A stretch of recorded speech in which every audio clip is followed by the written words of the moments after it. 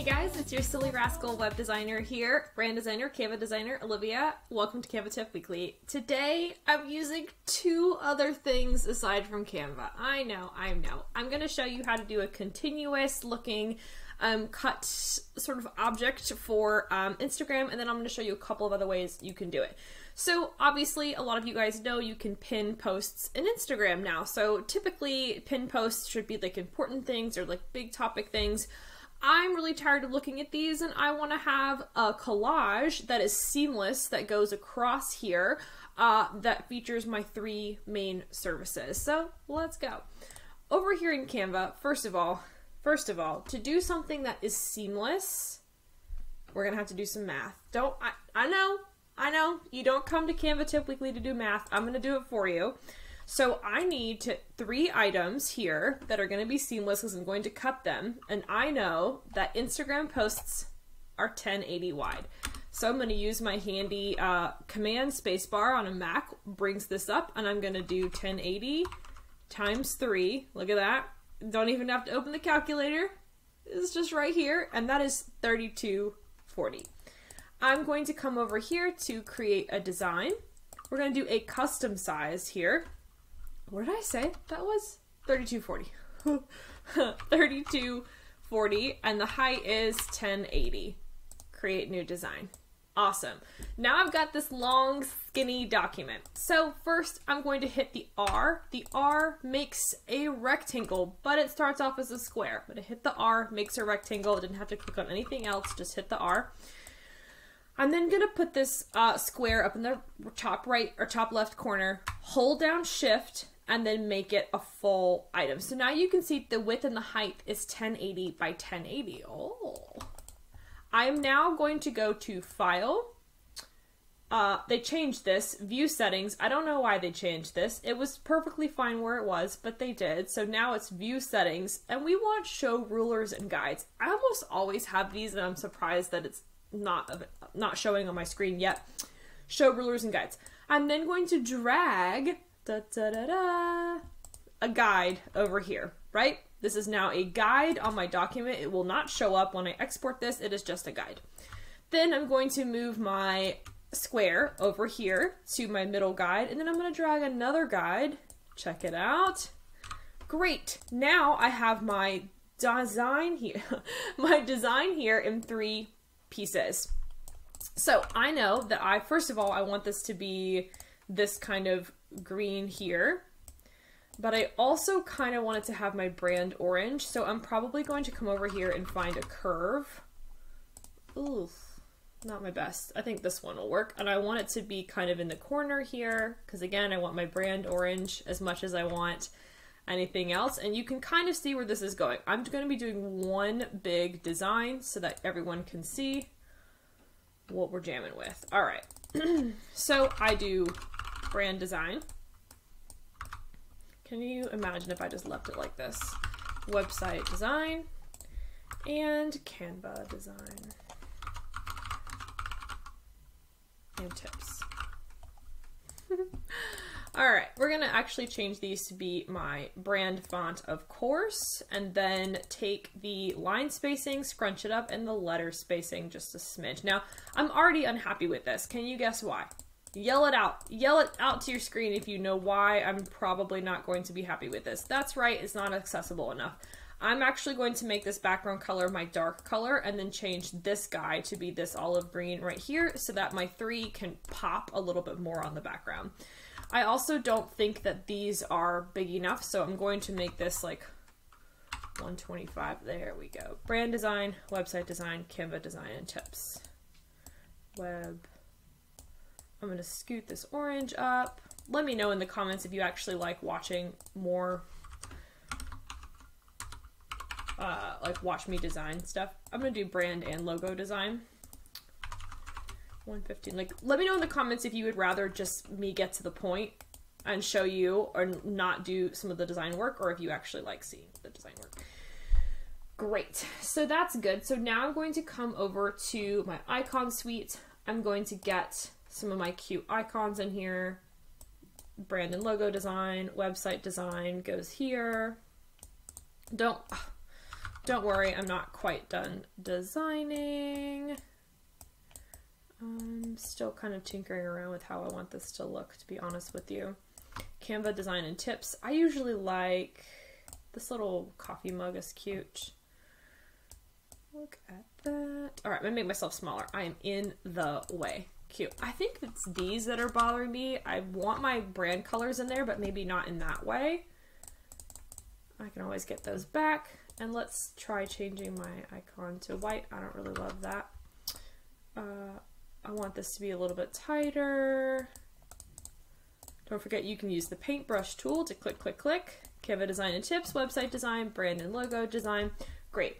Now I'm going to get my logo in here. I like adding it as a background element. In this case, I think I'm going to do it as an off color. And then I'm going to start to get some collage elements in here, probably um, first a photo of myself.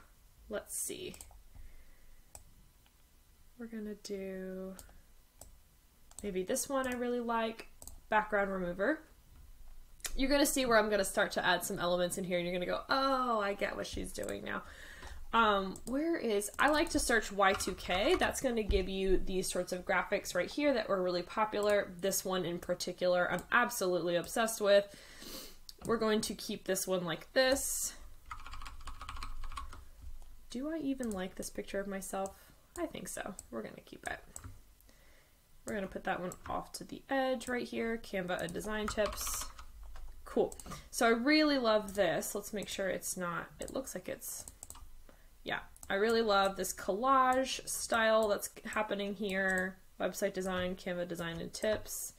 We're going to move me over. I love that. I kind of want this right here pink. Obviously, I need a tiger. Stop yelling. I can hear you. I can hear you guys. Well, she's going to add a tiger. Of course I'm going to add a tiger. We've got that kind of thing in here. And then where's my tiger?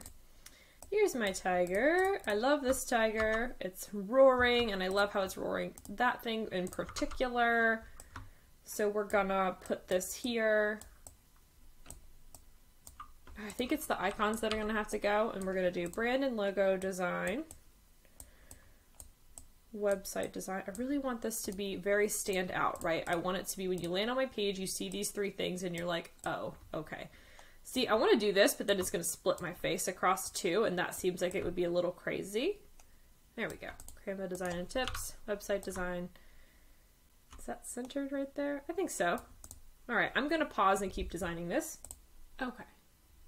I think we did it. I, I think this looks looks pretty good. Each of these pieces on its own is going to look really good individually as people scroll, and then also it's going to look really great as a uh, uh, on my Instagram here. Boop boop boop. I like the dark color this time. It still has my orange. It feels really um, up leveled.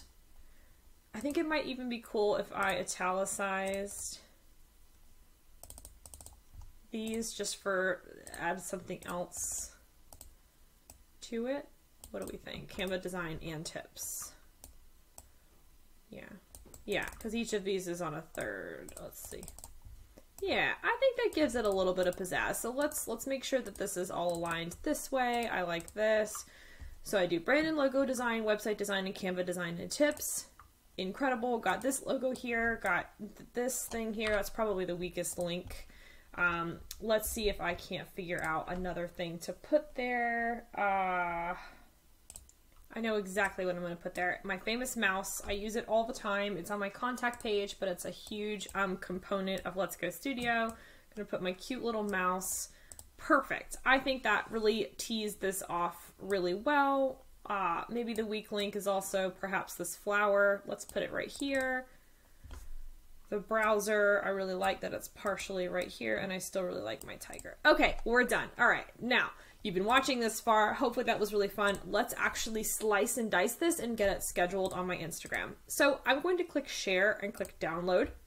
PNG is great. There's only one item here. I don't have to worry about it. I'm going to click download. And then we wait and we hydrate. Don't forget that when you save this, uh, I don't know why it's here now. When you save this, it goes to your computer. It goes off of Canva, goes to your computer. So make sure you remember where things go. Next, you're gonna need another tool. There's a bunch of these, but I like this one. I think it's the easiest one. It's hideous. Whoever designed this did a terrible job, but in my opinion, it is the easiest one. So I'm going to click choose file, come over here, uh, find where I want that to be, Ba, ba, ba. Parts in width, I want it to be three. One, two, three. Parts in height, just one. I'm not going to touch any other, uh, except I'm going to do without changes, same as original image, and I'm going to click OK. What's going to happen here is that this handy little tool is going to cut this image for me into thirds, and I'm going to show you what that looks like. Again, this is going to go over to your computer. I'm now going to click here, and you're going to see, da da da, now I have three separate images that I can now upload to my Instagram. I use later.com, so I'm going to drag all, well, that didn't do it.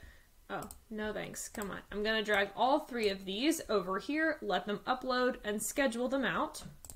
And this is just to show you I'm probably not going to actually do them back to back to back because I'm going to pin them so it's not going to matter. But eventually, let's look at the preview here. Ta-da! It's gonna, oh, I put web design on there twice, so let's not do that. It needs to be that. Uh, but I'm going to pin these, but check that out. That's going to be what it looks like eventually. Holy cow, I absolutely love it. So that is how you do a continuous looking post and cut it. You do need an additional tool. Look in the comments for that tool so that you have it.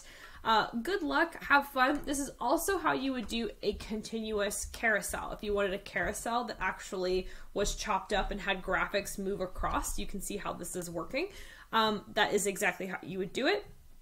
Let me know what you're hoping to see next time and go follow me on Instagram if you are interested to see how this plays out because I'm going to sneakily start um, posting these over the next couple of days. So if you want to be ahead or comment and say, hey, like I saw you do this on Canva Tip Weekly, uh, that would absolutely tickle me to no end. Thanks so much, guys.